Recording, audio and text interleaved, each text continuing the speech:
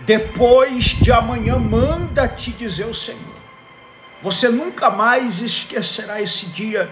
E eu vou te dar dois motivos claros de que essa revelação é com você.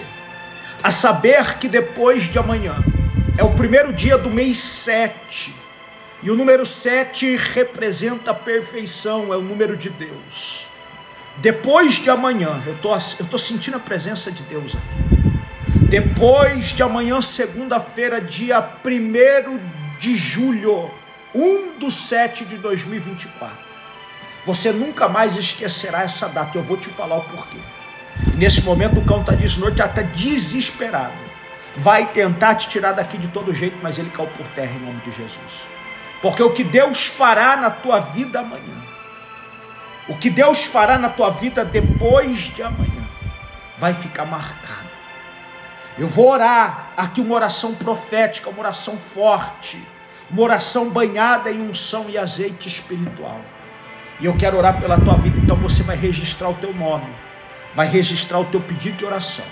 Você vai deixar o coraçãozinho nesse vídeo vermelho para me ajudar. E você vai fortalecer o meu conteúdo com um presentinho sendo um patrocinador do meu perfil.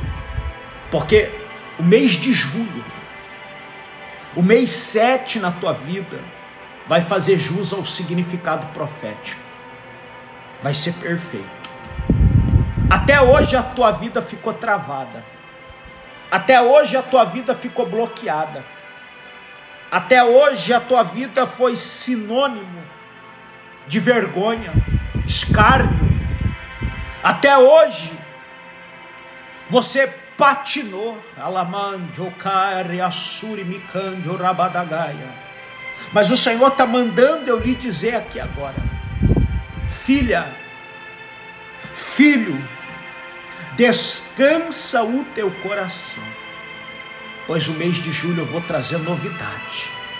A saber, o primeiro dia de julho vai ser um dia poderoso, um dia profético, um dia qual Deus te visitará com manifestação. Um dia qual Deus te visitará com unção apostólica eu via cadeias caindo por terra. Eu via grilhões sendo espedaçados, despedaçados.